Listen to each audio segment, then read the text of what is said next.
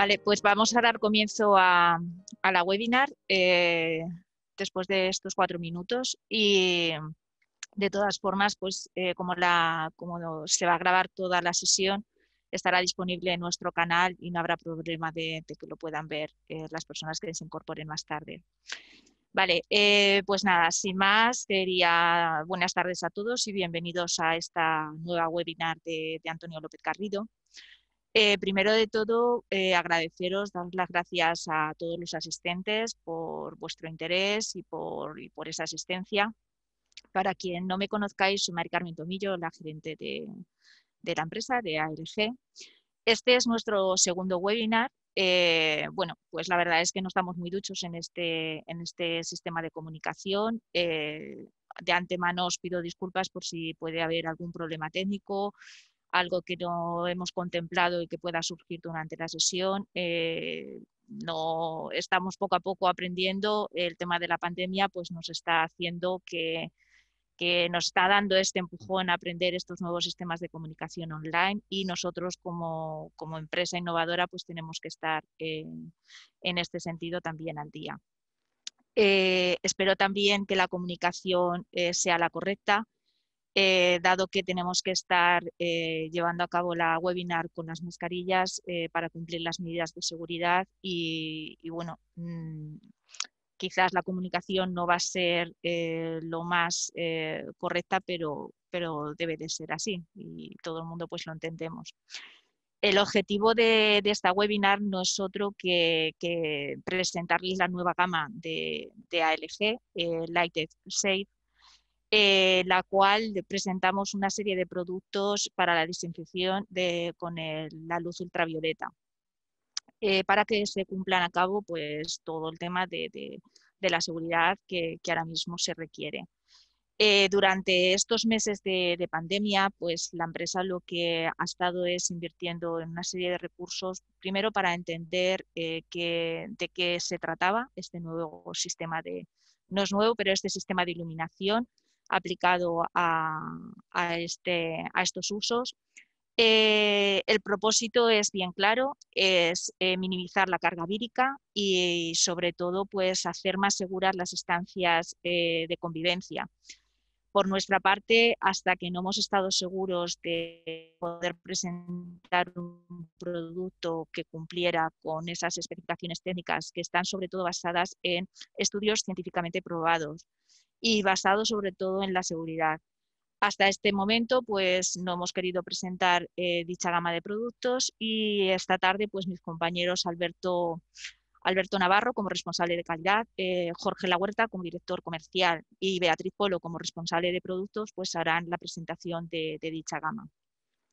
A cargo del chat está mi compañera Raquel, eh, que es responsable del departamento de marketing y de comunicación, entonces podrá atender cualquier duda que pueda surgir durante la sesión y que intentaremos, eh, intentaremos resolver y en cualquier momento eh, más adelante podemos enviarles cualquier tipo de, de información al respecto.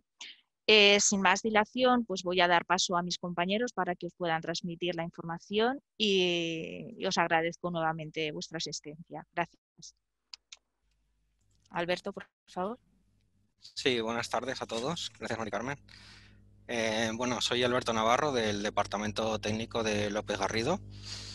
Y bueno, voy a hacer una pequeña presentación a la, a la tecnología de luz ultravioleta y VC en particular y bueno, voy a empezar compartiendo una presentación con vosotros. Si supongo que me oís bien, si tenéis algún problema con el audio o, alguna pregunta que hacer, pues la podéis ir dejando en el chat, que creo que será más rápido para todos.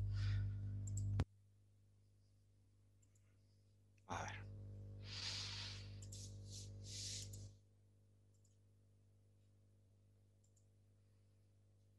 Vale. Em, supongo que podéis ver la, la presentación, ¿no? De acuerdo, pues eh, a ver, para empezar, pues vamos a definir un poco qué es la luz ultravioleta. Es esa parte de, del espectro electromagnético, de la radiación electromagnética que se queda fuera del, espectro de la luz visible. Es una frecuencia inmediatamente superior a la luz visible y por tanto eh, no es visible al ojo humano. se encuentra comprendida entre los 100 y 400 nanómetros de onda electromagnética y vamos, básicamente es una longitud de onda que no podemos ver. Este tipo de radiación se, forma de forma natural en, el Sol, nos llega radiación ultravioleta desde el Sol y prácticamente se divide en tres grandes grupos de luz ultravioleta, los rayos ultravioleta de tipo A, B y C. Cada uno comprende un rango de longitudes de onda distintas y la característica principal es que eh, la capa de ozono eh, impide o deja pasar eh, los rayos ultravioleta más o menos dependiendo del tipo que es. Los de tipo ultravioleta A pasan prácticamente a través de la capa de ozono y nos llegan a nosotros. Los del tipo B, solo el 5% logra pasar a través de esta capa de ozono. Y la luz ultravioleta de tipo C, que es la que más interesa, queda bloqueada completamente por la capa de ozono que nos protege. Entonces es un tipo de radiación que no, de forma natural no, la tenemos en, entre nosotros. Este tipo de luz ultravioleta eh, interacciona con la materia orgánica de una forma bastante distinta a, la luz, eh, al espectro visible tal y como lo conocemos. Esto hace que tenga unas aplicaciones industriales muy características, sobre todo reaccionando o combinándose con la materia orgánica. Y, por ejemplo, los ultravioleta de tipo A o de tipo B tienen aplicaciones industriales para, por ejemplo, el curado de tintas, plásticos o esmaltes. Aquí tenemos unos ejemplos, curtido cosmético, dermatología, odontología. Pero lo que nos interesa aquí, que es las aplicaciones con las que se utiliza la ultravioleta del tipo C es básicamente la tarea de desinfección, desinfección del aire, del agua o de las superficies. Interacciona de forma distinta con los materiales, como hemos dicho, interacciona con la materia orgánica y también con los materiales de forma muy distinta como lo hace la luz eh, visible. Aquí tenéis una tabla, por ejemplo, modo de ejemplo, donde podéis ver cómo materiales que se utilizan frecuentemente para el reflejo de la luz en el espectro visible, con la luz ultravioleta eh, su índice de reflectancia es muchísimo más bajo. O sea que utilizar estos materiales como el cromo o el aluminio, que normalmente son muy buenos para reflejar la luz eh, visible, pues no sería el más idóneo para, la luz ultravioleta. Y también destacar que la luz ultravioleta eh, deteriora mm, los materiales sobre todo algunos tipos de plásticos y los textiles se pueden ver más afectados. Hay que tener todo esto muy en cuenta a la hora de, dimensionar o, eh, de tener en cuenta dónde vamos a, utilizar este tipo de luz. Ventajas, pues eh, a ver, en, en ALG hemos apostado por este tipo de tecnología, por la luz ultravioleta de tipo C para un ámbito profesional, frente a otras tecnologías que ahora también existen, como puede ser el ozono o los filtros purificadores de aire. Y esto es debido, pues, porque allá hay muchos estudios científicos, ya había muchos estudios científicos que respaldaban el uso del ultravioleta C como medio de desinfección, pero ahora digamos que em, ya hay estudios más recientes y sobre todo está avalado entre otras cosas pues por el, por el Ministerio de Sanidad, como veremos más adelante, y se ha utilizado desde hace muchos años en, desinfección del agua y del aire en sistemas de ventilación y en sistemas sanitarios. Es un sistema que no usa químicos, bueno, no tenemos aquí agentes eh, corrosivos o tóxicos o contaminantes. Y si se dimensiona bien la instalación, puede ser un sistema muy rápido desinfección. Y hay estudios últimamente muy recientes sobre que dan evidencia sobre la desactivación del SARS-CoV-2 con la, radiación ultravioleta de tipo C. Como ya hay una nota de sanidad del 20 de noviembre donde ya declara sanidad que hay evidencias de, este tipo de, inactivación del virus. A ver, el efecto germicida de la luz ultravioleta de tipo C eh, está muy ligado a la longitud de onda. Tenemos aquí, podéis ver en la presentación, un tríptico y un, gráfico sacado de un estudio científico, donde vemos que el, el pico donde más incide la radiación ultravioleta sobre algunos tipos de virus y bacterias está en los 264 nanómetros de longitud de onda. Nuestras lámparas de, luz ultravioleta, las que tenemos ahora mismo en, catálogo y que más tarde os presentarán mis compañeros, son lámparas de VC de descarga, donde tienen su pico eh, máximo en los 254 nanómetros, que es muy cercano a los 264, donde se encuentra la máxima eficacia. Entonces, eh, son productos altamente eficaces para la inactivación de muchos virus y bacterias. ¿Por qué decimos que, la luz ultravioleta de tipo C es, germicida? Bueno, lo que hace la luz ultravioleta de tipo C es básicamente es dañar las cadenas de ADN y de ARN que hay en las células. Lo que hace es que inactiva o evita esa capacidad de reproductiva de los, microorganismos y por eso es, dañina. Entonces, en, no es una tecnología nueva, como hemos dicho antes. Ya se utiliza desde hace muchos años en, el sector de saneamiento y en desinfección de aguas sobre todo. Podéis ver aquí algunos extractos de, sacados de científicos donde ya se hablan de las enfermedades y microbios encontrados en el agua, algunos patógenos y dosis de radiación para inactivar estos virus. Hay estudios ya más recientes, como algunos, de, como este, por ejemplo, que tenemos aquí también de la Universidad de Texas con la Universidad de Seúl de 2007, donde ya habla en concreto de dosis de radiación para la inactivación de, de algunos virus, entre ellos el coronavirus, algunos coronavirus anteriores a este que nos afecta. Estamos hablando de un estudio del 2007. ¿Cuál es la relación entre la radiación UVC y el ozono? Bueno, eh, la luz ultravioleta de tipo C, con longitudes menores de onda menores de 240 nanómetros, producen ozono. Como nuestra tecnología ahora mismo lo que utilizamos son lámparas de descarga de 254 nanómetros, no, se genera ozono. De todas formas, es bastante recomendable que después de utilizar cualquier tipo de lámpara VC, eh, se ventile la estancia donde, donde ha estado usada siempre es posible que se generen pequeñas cantidades de ozono, entonces siempre es recomendable eh, ventilar. El ozono también se puede utilizar como complemento a esta técnica de desinfección porque básicamente eh, el efecto germicida se consigue mediante la radiación directa. Todo eh, objeto o superficie que queramos descontaminar tiene que recibir radiación directa.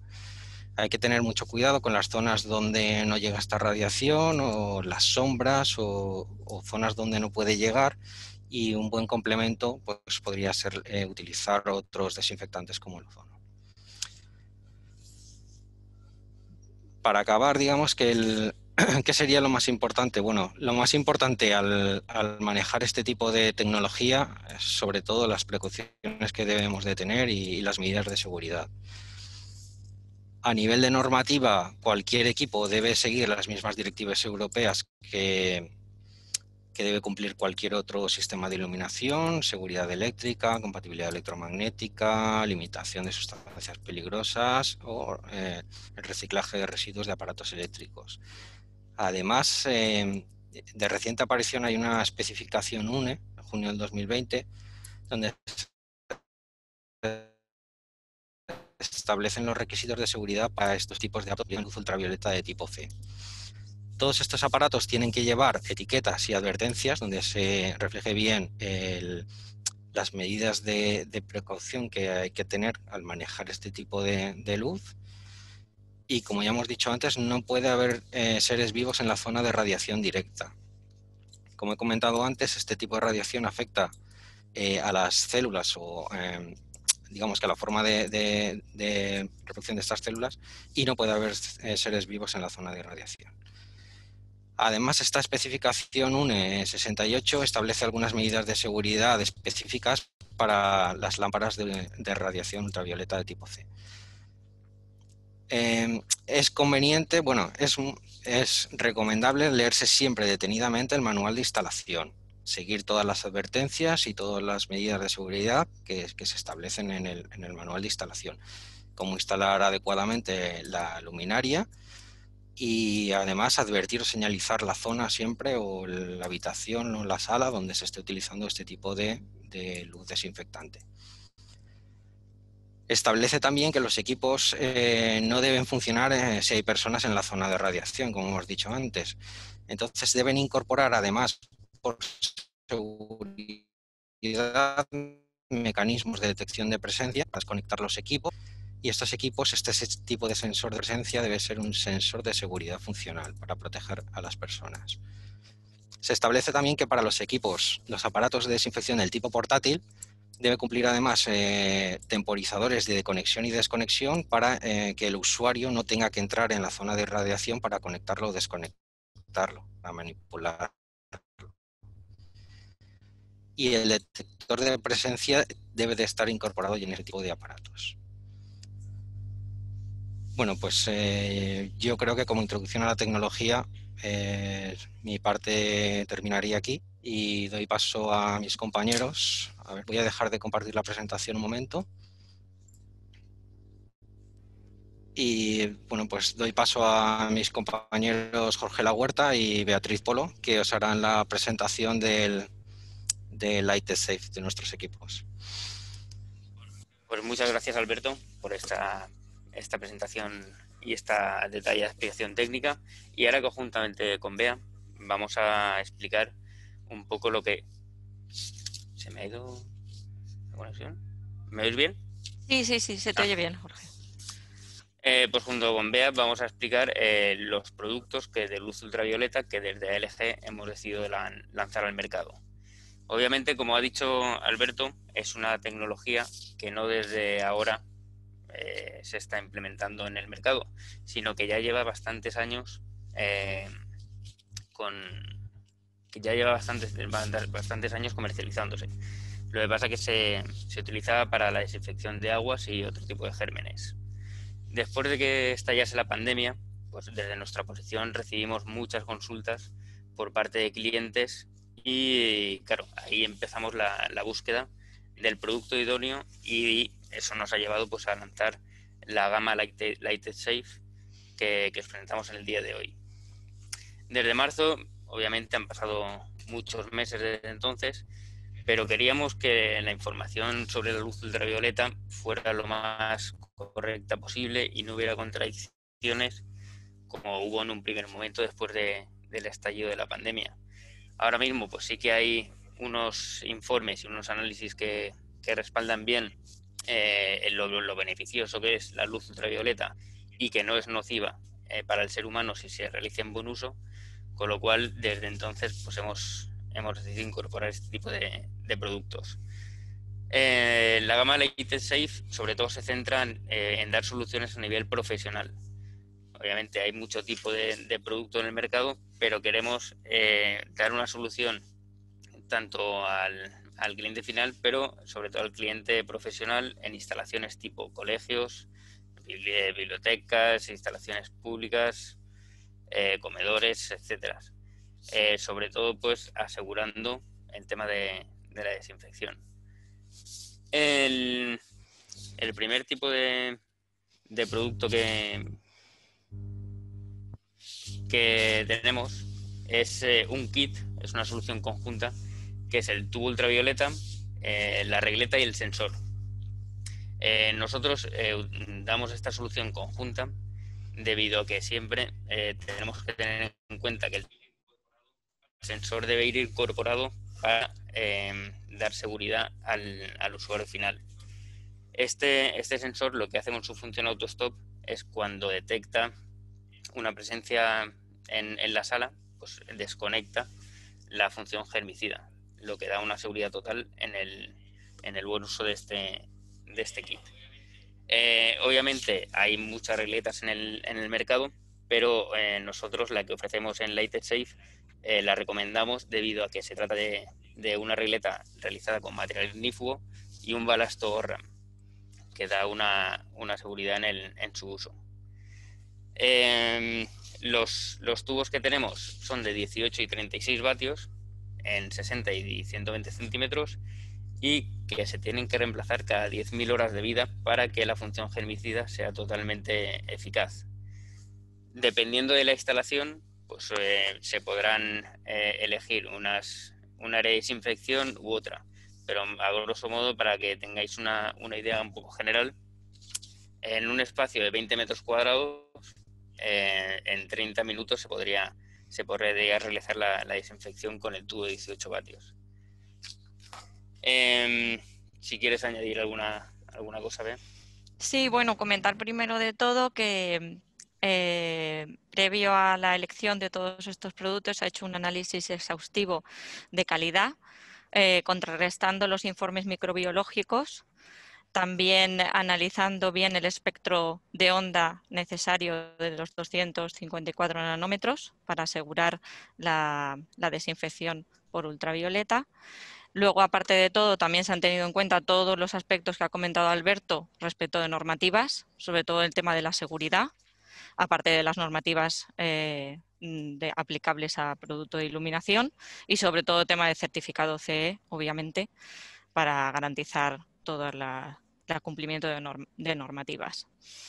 Aparte, bueno, con el tema de los tubos, eh, incidir sobre todo en los materiales. El material de la regleta es importante para esa durabilidad porque el, ultravioleta degrada los materiales, como ha comentado Alberto. Entonces, eh, la regleta cuenta con el material ignífugo y que permite esa durabilidad. Luego, aparte, el driver OSRAM con todas las certificaciones necesarias.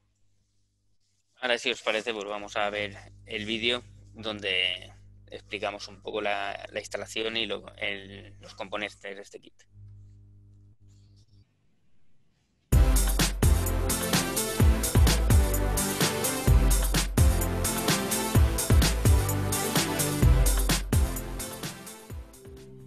El kit de tubos UVC de Lighted Safe es una solución completa con función germicida de luz ultravioleta para ayudar en la lucha contra el COVID-19. Aunque desde ALG servimos los componentes por separado, para que esta solución sea completa, el kit debe componerse de los siguientes elementos. Una regleta para tubos T8 UVC, un tubo germicida, y un sensor específico para lámparas UVC. Los tubos están disponibles en 18 vatios y 60 centímetros o bien en 36 vatios y 120 centímetros. Y también disponemos de dos modelos de regleta adaptadas a las medidas y potencia de dichos tubos UVC. Las regletas están fabricadas con un material ignífugo y resistente a los rayos ultravioleta, evitando así su deterioro por lo que es recomendable adquirir la solución completa. También vienen preparadas con un balasto de la marca Osram adecuado a la potencia de los tubos. La radiación UVC puede causar daños en los seres vivos, por lo que es importante que las lámparas UVC incluyan ciertos protocolos de seguridad. Para que el kit de tubos UVC de Lighted Safe sea totalmente seguro, debe instalarse también el sensor UVC con auto-stop de seguridad y reinicio de la función germicida. El producto es un sensor de microondas con una función específica para su uso con lámparas germicidas.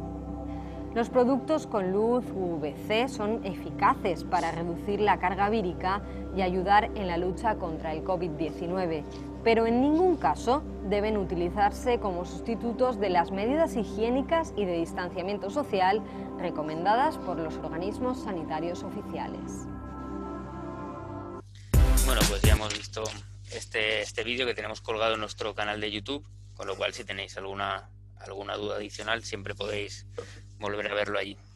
Sí, Jorge, una cosita que se me ha, que se me ha pasado. Incidir también en el material de los tubos. Es cristal de cuarzo para una buena transmisión de, la luz ultravioleta, que esto también es muy importante. Vale, ya está. Correcto, al igual que la PLL que tiene el panel Exacto. Que, vamos a presentar. en la siguiente solución a nivel profesional es el panel LED UVC.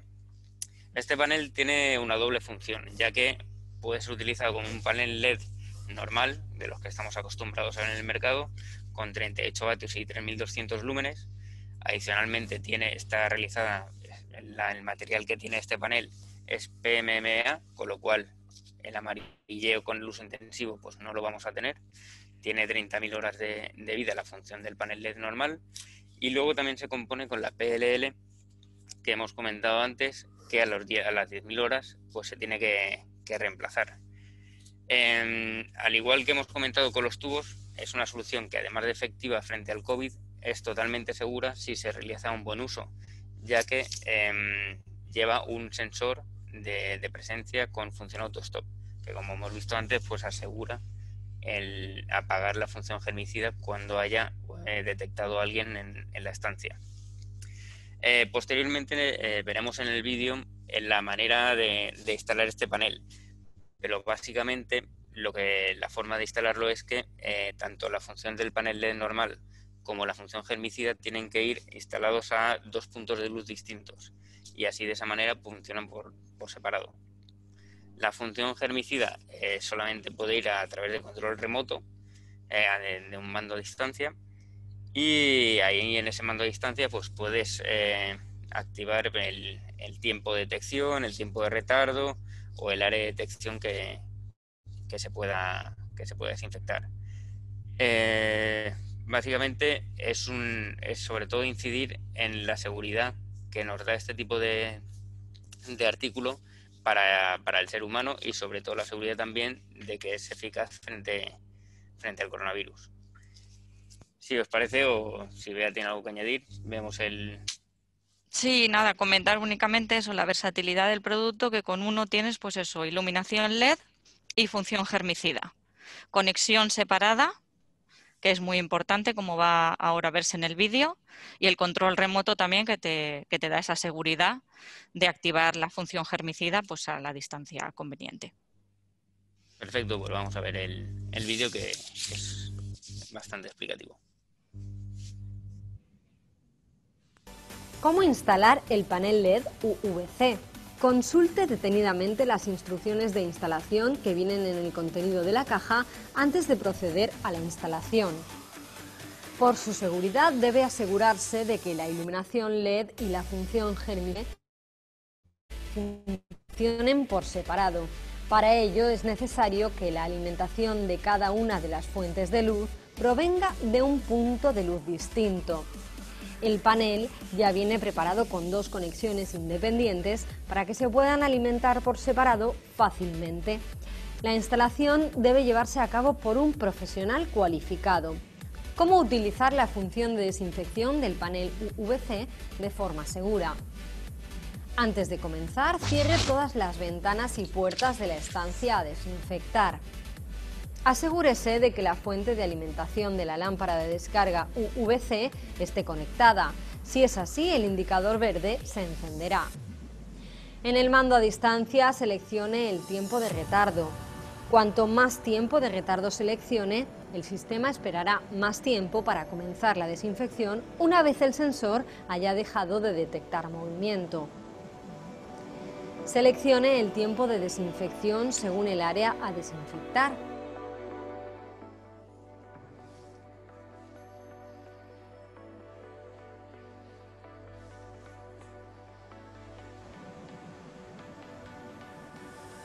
Seleccione el área de detección del sensor de movimiento.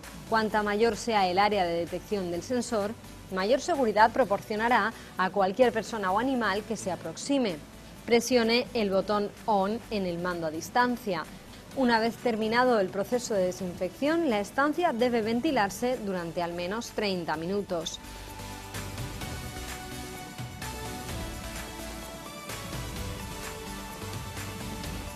Para garantizar el correcto funcionamiento de la lámpara UVC, la fuente de luz debe sustituirse cada 10.000 horas.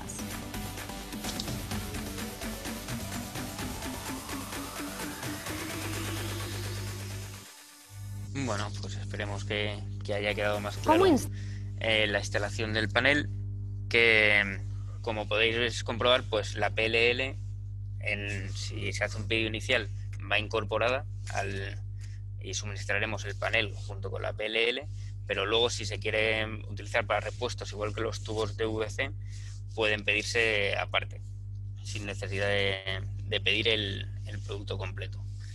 Y por último vamos a, por la tercera solución, que es la lámpara VC, que quizás es la solución más rápida para comenzar a, utilizar, ya que no requiere ninguna, ninguna instalación como las anteriores. Es una lámpara VC que, al igual que el panel, lleva la PLL de 36 vatios y que también se debe sustituir cada 10.000 horas. Em, es, una, es una lámpara VC que hemos buscado también que no sea em, que nos dé toda la seguridad eh, toda la seguridad posible para que no sea ni peligrosa para el ser humano y sea efectiva frente, frente a la desinfección. Por ese motivo, los materiales que está hecho esta lámpara pues son bastante resistentes a, la luz ultravioleta.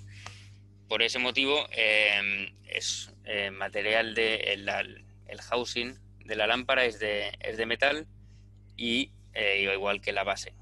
También la pantalla táctil es de PMMA, con lo cual con la luz ultravioleta, pues no sufriría esta lámpara como en el caso de que fuera de plástico, que sufriría cierto amarillamiento. Eh, aparte de, esto, pues tiene un mando para, para control remoto donde se puede, se puede realizar eh, o se puede determinar el, tiempo de, de, esterilización y el tiempo de, de retardo. Eh, más o menos, para que os hagáis una idea, el área de desinfección de esta lámpara, si la dejas en una estancia de unos 20 metros cuadrados, pues en 30 minutos estaría, estaría desinfectada. En la siguiente transparencia vemos algunas eh, características diferenciales de este producto respecto a otros que hay, hay en el mercado. Como hemos comentado, se trata de un material, una, la estructura eh, se compone de un material que es el metal y no es el plástico, con lo cual lo hace más, más robusta y resistente para que dure la vida útil que, que hemos comentado. Aparte, pues tiene un sensor de un rango de 3 y 5 metros, no a lo mejor tan corto como pueden ser otras opciones que serían de 2 o 3 metros.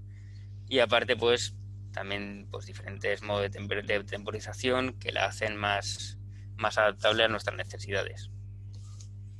Si quieres añadir un poco. Nada, la verdad es que el resumen que has hecho está bastante completo. Es simplemente, pues eso, eh, uno, una calidad en los materiales para garantizar, pues eso, la calidad del producto y su durabilidad y sobre todo, pues el tema del sensor y el tema del, de los, del control remoto, que es también importante. Sí, los tres productos, las tres soluciones que hemos mm. comentado tienen el sensor para, para evitar pues, que sea un producto nocivo para, la salud del usuario final. Y nada más, pues la presentación del producto ya está, ya está realizada, con lo cual muchas gracias a todos y si hay alguna pregunta por parte de Raquel, pues sin problemas la intentamos responder.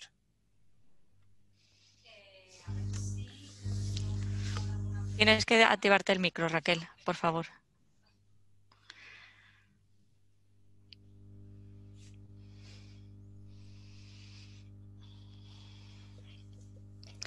Hola, buenas tardes. Eh, creo que había alguna pregunta por el chat. ¿Me, escucháis bien todo? Sí, sí, sí, se te escucha bien. Vale, un momentito que las lea bien.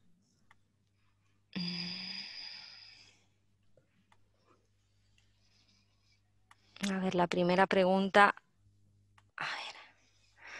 Vale, Isabel nos pregunta eh, si nuestros tubos UVC son compatibles con otras regletas. Creo que esto nos lo puede responder o bien Bea o bien Alberto. Sí, yo mismo respondo. Eh, a ver, eh, Isabel, nuestros tubos son, son tubos T8, ¿vale? Tienen el formato estándar, según la potencia, la longitud está normalizada y el casquillo es el G13 estándar para un T8. ¿Se puede utilizar en otras regletas? Eh, se podría utilizar en principio, no está testeado la compatibilidad, pero por supuesto es algo que no recomendamos. Solo recomendamos nuestras regletas porque los equipos que incorpora ya están testeados y además también por un tema de la degradación de los materiales. Como hemos dicho, pues eh, las regletas, las nuestras, están compuestas de materiales o que son ignífugos o que están testeados ya que tienen una cierta resistencia contra la luz ultravioleta. Si lo utilizas, por ejemplo, en unas regletas que son de un plástico convencional, pues acabaría degradándose al poco tiempo. Entonces nosotros solo, en principio, solo recomendamos que se utilicen con nuestras regletas y, con los equipos que incorpora. ¿Hay alguna pregunta más, Raquel? Sí. Em, vale, Juan Francisco nos pregunta si para esta, este sistema UVC del kit, que si es necesario un sensor para cada regleta UVC. No sé si he entendido bien la pregunta. Si es, Ah, si es necesario un sensor para cada, para cada regleta o para cada tubo. Vale, vale. Em, no es necesario un sensor por cada regleta. Eh, tenéis las características, bueno, Raquel, si lo veis, ha ido poniendo las fichas técnicas de las, de las lámparas aquí en el, en el chat, os podéis descargar las fichas técnicas. Em, creo recordar que el sensor eh, tiene una capacidad máxima de 500 vatios y se utiliza con lámparas UVC. Eh, podrías utilizar eh, tantos tubos de tanta potencia como potencia admita el sensor.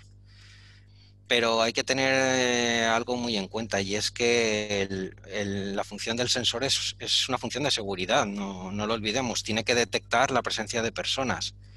Entonces el, el sensor tiene que abarcar todo el, todo el área de la instalación entonces deberemos de poner tantos sensores, por lo menos, aparte de, estar limitados por la potencia, tantos sensores como, metros cuadrados tenga el área que queremos, que queremos proteger. No podemos colocar, a ver, no lo sé de memoria, creo que el alcance máximo del, del sensor VC es un radio de unos 8 metros. Eso supone, bueno, pues que igual en 16 metros cuadrados nos puede detectar el sensor. Si colocamos tantos tubos que superamos esos 16 metros cuadrados, estamos dejando de, lado la seguridad de las personas, estamos dejando de protegerlos. Entonces, en ese caso, pues deberíamos de, utilizar más sensores. Siempre hay que tener en cuenta no solo la potencia máxima que nos limita el, sensor, sino todo el área de detección que, es capaz de abarcar. Yo eh, os recomiendo que busquéis en la ficha técnica, os leáis la ficha técnica y, veis los datos. Eh, no sé si puedo compartir aquí, pero bueno, eh, lo mejor es que los descarguéis y, veáis las fichas técnicas y eso resolverá muchas de vuestras dudas también. Sí, si no, de todas maneras nos podéis, nos podéis preguntar las preguntas también por email y os los contestaremos, os, os, enviaré, os, uy, os enviaremos por email las fichas técnicas, que por si acaso he leído por ahí que a alguno no, le aparecían bien los enlaces, pues os las enviaremos por email también. Ah, creo que habían más preguntas. Vale, Nati nos pregunta cuántos paneles necesitaría para una habitación de 40 metros cuadrados. Para 40 metros creo cuadrados. Creo que eso lo, lo hemos dicho en el vídeo, ¿no? Sí, a ver, en la presentación aparece y en... No sé si puedo compartir una ficha técnica, a ver, lo voy a intentar, la del panel. Es, Nati nos pregunta por 40, 40 metros cuadrados. A ver si puedo compartir. Un momentito.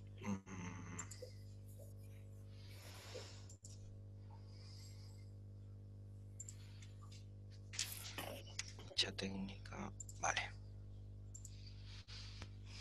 No sé si estáis viendo la ficha del panel. Sí, no sé si la veis. ah, vale. Eh, aparece en la presentación, pero en las fichas técnicas yo creo que está más detallado.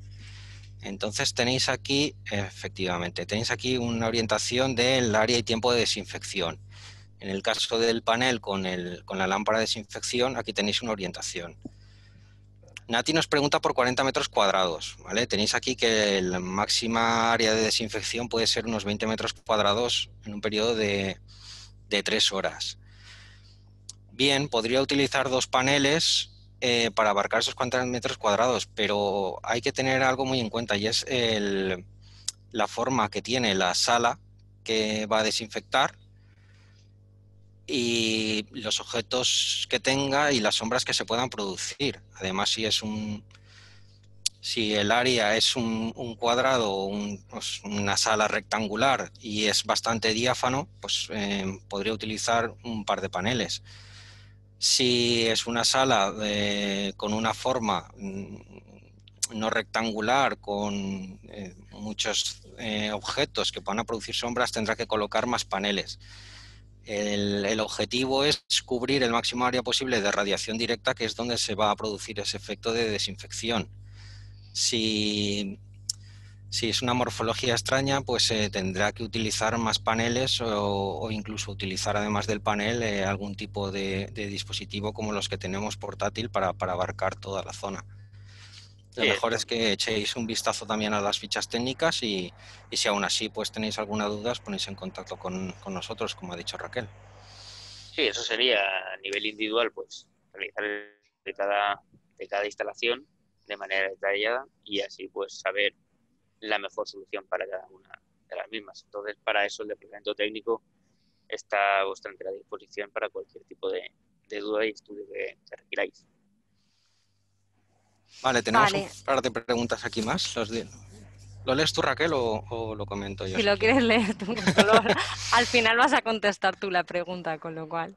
Vale, Miguel Centeno nos comenta por el chat si se pueden utilizar estas lámparas, si para utilizar estas lámparas en funcionamiento siempre deben estar los espacios sin personas o mascotas, ¿cierto? Claro, correcto. Por supuesto que sí. Ya os he comentado en la presentación cómo, cómo la luz ultravioleta dañan los tejidos vivos, entonces siempre tienen que estar, no debe haber seres vivos en la zona de radiación directa. Por eso hacemos hincapié en todos los sistemas de seguridad. Eh, bueno, si tenemos tiempo sigo respondiendo alguna cosa más. nos quedan 15 minutos, sí. Fernando Carrera nos dice, no sé si os he entendido bien, pero si no usan ozono, ¿por qué hay que ventilar?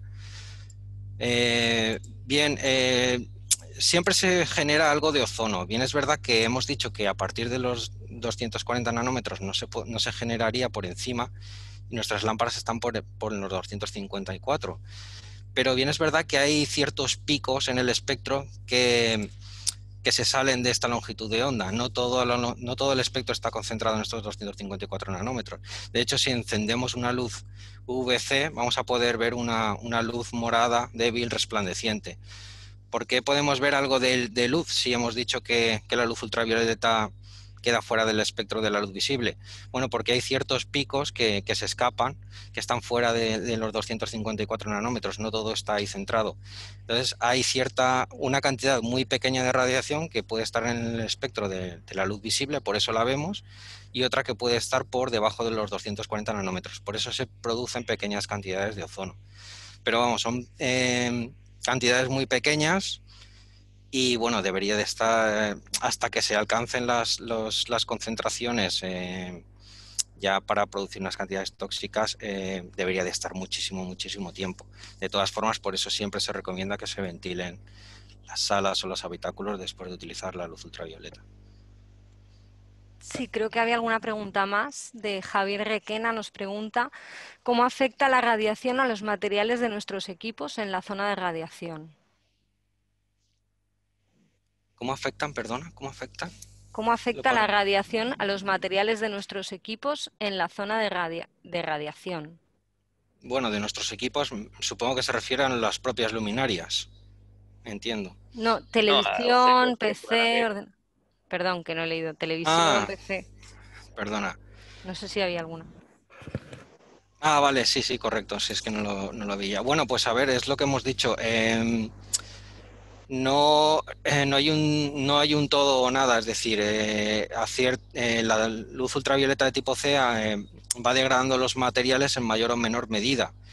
Lo que sabemos es que ciertos tipos de plásticos como el PVC se ven más afectados, otros como el policarbonato o el PMMA se ven menos afectados y pues eh, textiles y demás eh, también se ven muy afectados. Lo mejor que se podría hacer em, sería em, proteger estos equipos, pero vamos, eh, ¿qué podría ocurrirle a un PC? Bueno, pues que empiece a amarillear el plástico a largo plazo no es que le vaya a afectar para un funcionamiento o para un mal funcionamiento, simplemente pues va a degradar los materiales de una forma más, más agresiva. Es como si cualquier tipo de plástico al fin y al cabo que, dejemos expuesto al sol va a acabar degradándose. Lo que pasa es que el efecto con la luz ultravioleta de tipo C es más acelerado. si lo que tenemos que tener en cuenta es que si tenemos algún material que, puede ser más sensible durante el, área en la zona de desinfección, pues sería protegerlo. Yo creo que es lo mejor que podemos hacer. Vale, y referente también a esto, que creo que me ha saltado la primera pregunta de Javier, nos preguntaba si el sensor de presencia también lleva materiales que soporten esta radiación UVC. Yo imagino que sí. Hombre, por supuesto, claro que sí, está todo testeado, regletas y sensores, todo para que soporten este tipo de luz ultravioleta que es para lo que está destinado, claro. Obviamente sí. Bueno, pues creo que, ya, no, ya no quedan más preguntas. De todas maneras, si, tenéis alguna pregunta más, siempre nos la podéis hacer por email y, os la intentaremos responder. Y bueno, muchas gracias a todos. Paso, paso la palabra a Mari Carmen para que se despida de todos vosotros y muchas gracias por asistir. Vale, pues, pues nada, simplemente agradeceros vuestra asistencia y el interés. Eh, gracias también por las consultas, porque de esta manera pues es algo que nos, eh, nos hace aprender a todos de dudas que nos van surgiendo. Es un producto que pese a los años que tiene en el mercado, es en estos momentos cuando más está instalando y dudas pues nos surgen muchísimas. Eh, nuestro departamento técnico y todo nuestro equipo pues está a la disposición de cualquier cosa que, que os pueda surgir, eh, cualquier proyecto que, pueda salir y que nosotros podamos soportaros y apoyaros, estaríamos encantados para, ello. Eh, simplemente me queda deciros que dada la situación, pues que os sigáis cuidando mucho y que intentaremos vernos eh, por este medio o por cualquier otro medio para, para, seguir en contacto. Muchísimas gracias por estar ahí al otro lado y, y apoyar a Antonio López Garrido. Un saludo para todos. Gracias.